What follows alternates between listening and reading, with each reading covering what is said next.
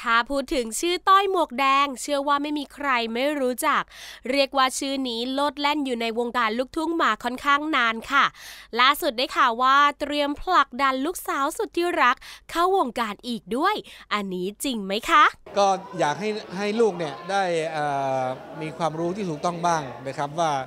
การร้องเพลงเนี่ยบางทีก็อย่าอย่ามาเอาแบบพ่อ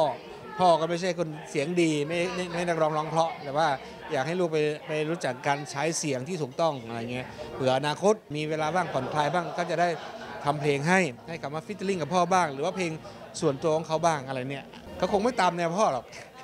เขาคงเป็นเขาคงเป็นแนวเขาคงไม่หมอลำแต่ว่าเราก็ไม่ได้บังคับว่าเขาจะไม่ไม่ไม่ไม่เขาเด็กทุกวันนี้เขาเก่งครับเขามีแนวความคิดเขาฟังเพลงหลากหลายเขาฟังเพลงจากทั่วโลกเขาคิดเป็นเขาอยากจะนำเสนอสิ่งใดเขาก็ มีความคิดได้ ถ้าเราอยากจะให้เขาทำอะไรเนี่ยก็ต้องให้เขาให้เขารู้สึกว่าอินด้วยอยากทำด้วย อันนี้ก็ต้องรอดูว่าอนาคตจะเป็นยังไงเพลงอะไร ติดตามทุกความเข้มข้นของคนลุกทุ่งได้ที่แฟนเพจข่าวลุกทุ่ง